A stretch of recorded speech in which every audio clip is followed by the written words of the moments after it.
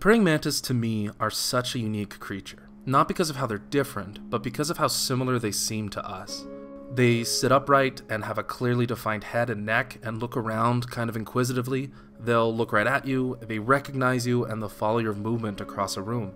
It's the only insect that does that. They'll raise their forelegs up and use them to explore and interact with things, and those mannerisms come off looking so much more human than insect. Although I would compare their mannerisms and personalities to more of like a small cat. We had a frame fall from the wall and it knocked one of our praying mantis habitats onto the floor and it spilled. When I ran over to check on my mantis, he was on the floor with his arms up, waving them, and when I offered him my hand, he quickly jumped on. It was like a kid who fell reaching out for its parent. It's just so incredible to me how something so alien can come across as feeling so familiar. Some people look at them and they do see an alien green skin and big bug eyes. But when I look at my pet praying mantis, I see a delicate beauty, and really, to me, they look like a bottled fairy. They're these bizarre, beautiful, vaguely human creatures living out in the forest, and I don't think I'm the only person who's ever thought that.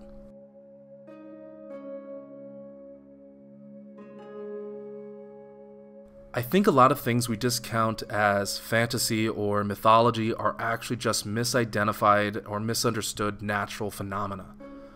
I think when the Greeks were quarrying stone to build all of their temples, they ran into dinosaur fossils, and they accurately described what they saw as a cross between a lion and a bird.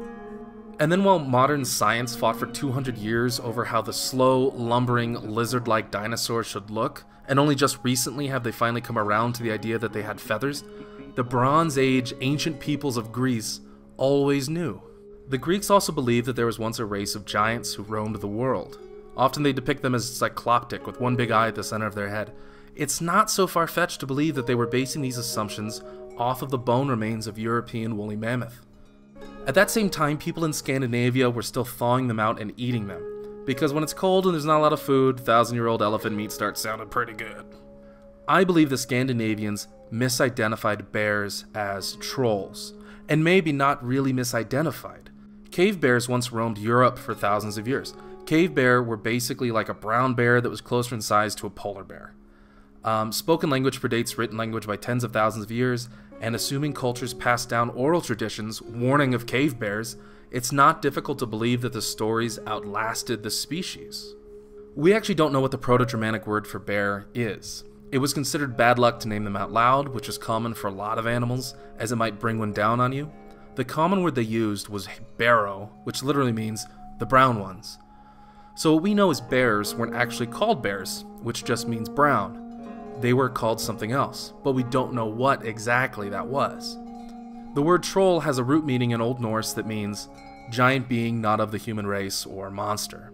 Some speculate that it originally meant creature that walks clumsily and derives from the Proto Germanic Truslan, which is the, also the origin for Trundle. So it's easy to think that bears were called trolls, or the Proto Germanic root word for trolls, but it was bad luck to say that out loud and the mythology of the troll outgrew the slang word they had adopted until they were separated completely. Which means if someone actually said troll out loud to you just to mess with you, they actually were trolling.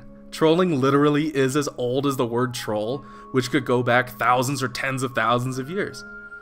The early Europeans also believed in dwarves, I think a race of stout, crotchety, hairy humans who lived high in caves and secluded mountaintops away from mankind isn't that far fetched when you consider that a race of humanoids fitting that exact description coexisted with native Europeans for thousands of years.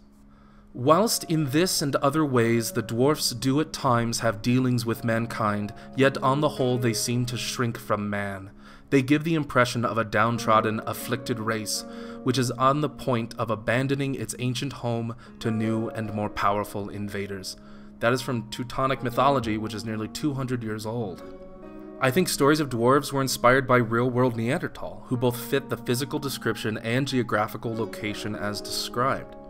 While many of those examples are long gone, it's still logical to believe that many of the fantastic creatures we dream and tell stories about still exist all around us. And sometimes it feels like we know that. We have examples in film and illustration where we see fairies hidden in plain sight using mimicry to disguise themselves as insects, as if we always knew that's what they always were. You can see the best examples in Pan's Labyrinth and the Spiderwick Chronicles through Tony DiTerlizzi's absolutely outstanding artwork. Or the Bowtruckle from Harry Potter, which looks incredibly a lot like a ghost mantis. The insect inspiration for fairies makes sense when you assume fairies aren't that different from insects or would use mimicry to hide themselves. Praying mantis use their own forms of mimicry. Uh, you have a wide range of flower mantis species who blend in as flora. Studies show that the orchid mantis doesn't actually want to blend in with flowers. Instead, it wants to perch out on its own in the open.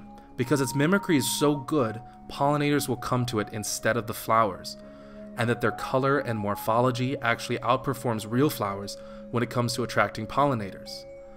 So, with the revelation that mythology isn't always myth, and the fantastic is sometimes closer than you think, we can see that the praying mantis, as a beautiful, voracious, delicate, alien creature, is more fantastic than we sometimes think. And I think they're fairies. Uh, funnily enough, if fairies did exist, the larger praying mantis, like the Chinese species, would probably feed on them, as the larger species are known to catch and eat hummingbirds. So, praying mantis are basically like fairies, but like way more metal.